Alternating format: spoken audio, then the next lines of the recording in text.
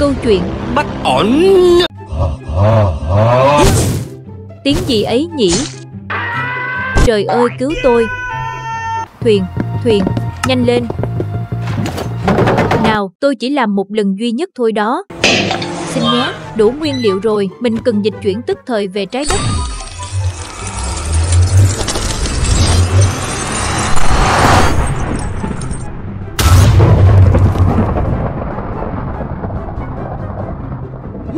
Đây là đâu? Cô là ai? Là la la là la Này mày kêu cái gì vậy hả? Có gì mà hoảng hốt vậy chứ?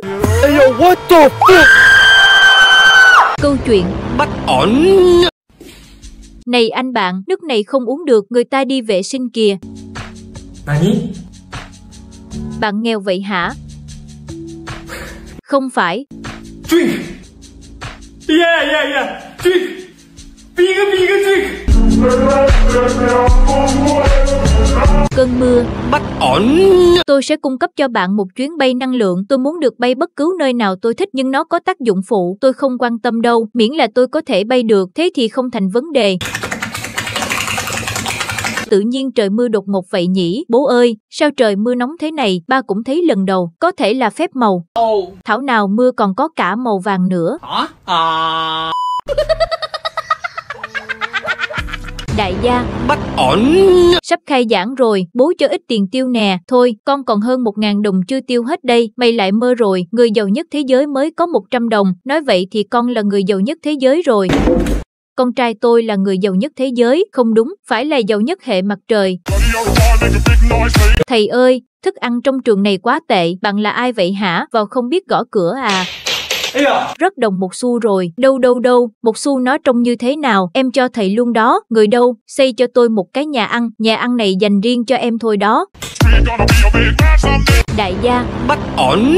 Tàu lượng siêu tốc của bạn cao bao nhiêu? 139 mét không không không đủ, bạn muốn cao bao nhiêu? Càng cao càng tốt, tôi sẽ cho bạn 10 đồng để xây dựng, cái gì? 10 đồng, mau xây cho tôi một cái tàu lượng siêu tốc, lên mặt trăng. Mẹ anh bảo em đến để ra mắt anh, mày nhìn cái chó gì, nhưng tôi không muốn, anh đừng có nói gì nữa, anh có gì tặng em không? Một đồng, cái gì? Một đồng, thôi thì em độc thân cả đời cũng được. Ông bố, Bất ổn mày không thấy tao đang quét nhà à, mà mày còn ném vỏ xuống đất. Hả? Bố vừa nói cái gì, bố nói lại con nghe nào. À. Ý của bố là, mày không thấy bố đang quét nhà à, không ném vỏ xuống đất thì ném vào đâu chứ hả, đúng không? Quét nhà vui thật.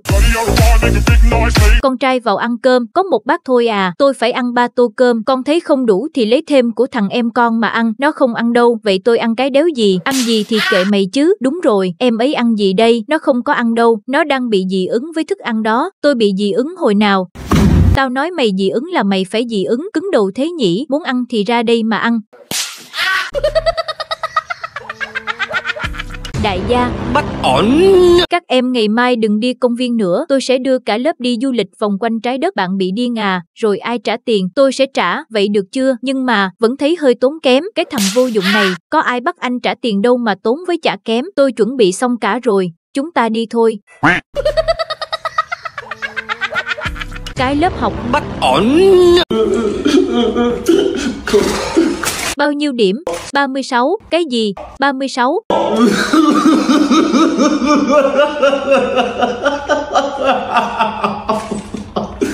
Mày được mấy điểm? Không cao lắm, nói nghe coi, thật sự là không cao lắm. 37.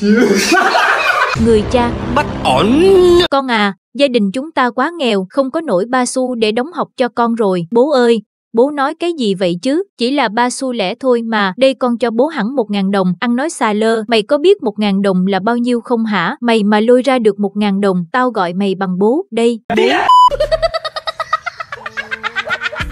Người mẹ, Bất ổn Mẹ tôi là một người mạnh mẽ, mẹ đang đèo tôi bằng xe đạp.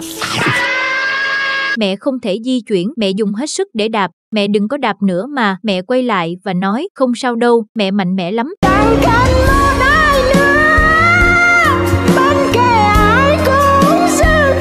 Phiên tòa. Bắt ổn. Tại sao bạn dẫm vào bãi cỏ trong công viên? Tôi là một kẻ tâm thần, đừng giả vờ nữa, vô ích thôi, chỉ là một vấn đề nhỏ, cứ nói hết sự thật đi. Được được, bởi vì tôi đang rất vội, có vậy thôi, cùng lắm là bị phạt tiền, không được phép dẫm lên cho dù bạn đang vội, đó là quy tắc của công viên mà bạn vội làm cái gì, đang đi ăn cắp mà bạn bảo tôi không vội làm sao được chứ? Bạn thêm tội ăn cắp nữa sao? Bạn đã ăn cắp cái gì? Là kẹo của một đứa trẻ con, chuyện này là chuyện nhỏ mà, chỉ là một cái kẹo, không đơn giản vậy đâu, có cái gì to tác đâu, bạn nói ra xem nào. Bạn đừng có nói với tôi là, đúng vậy, tôi đã bắt cóc trẻ con. Thằng bạn, Bắt ổn mày ơi, tao nặng gần 100 cân mất rồi, bạn mập như con lợn vậy.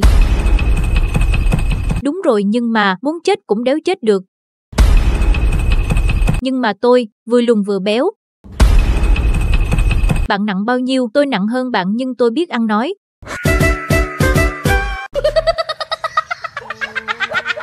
Thiên tài Bắt ổn Con trai ơi, điện thoại bố không xem được top top đâu con xem nào, điện thoại bố chưa đăng ký mạng à, thế là xong, cái gì, xem được rồi hả? Này anh ơi, anh biết tin gì chưa, con trai tôi là mafia internet đó.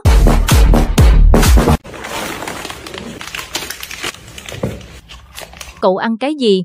Lôi ra mau. Này là cái gì hả? Là thanh cây China, tôi sẽ tịch thu hết. Bây giờ thế này nhá. Thầy mà không trả lời được câu hỏi của em thì thầy phải gọi em bằng bố, ý lộn, thầy phải trả em đồ ăn này. Nào nào. Ủa mày tinh tích. Tôi tuyên bố này là phép tính khó nhất thế giới, ai mà giải được nó chắc chắn là thiên tài. Em có thể cho thầy biết đáp án được không? Đơn giản mà thầy, một nhân một bằng một, em giải xong rồi, thầy gọi em bằng bố đi, ý lộn, thầy trả em thanh cây đi. Trò chơi Bắt ổn Lý Bạch Ba mày hả? Không, mà là Lý Bạch mẹ mày hả? Mẹ cái thằng này chơi ăn gian. Lý Bạch, ba mày, Lý Bạch, ông mày hả? Lý Bạch mà hay mẹ mày, con mẹ mày, Lý Bạch cái gì? Mẹ mày, bố mày, bà mày, ông nội mày. Trời ơi, Lý Bạch thằng bố mày. Tôi không thể nhìn thấy nó, gặp em giữa rừng mơ. Cái gì tôi không có bị đơ. Chú thỏ trắng là mẹ của một đàn thỏ trắng trắng. đấy xã hội hả? Không phải đáy xã hội, tay áo này màu gì? Không có màu. Mày mù hả? Không màu. Màu của tay áo, không có màu. Con mẹ mày, không phải. Đây là màu gì? Là cắt ba quy đầu. Chuyến xe. Bắt ổn Cậu cậu còn trẻ mà mà không biết nhường ghế cho người già à? Thưa ông, ông ngồi xuống đi ạ. À. Cháu không sao đâu, ông ngồi xuống đi ạ. À.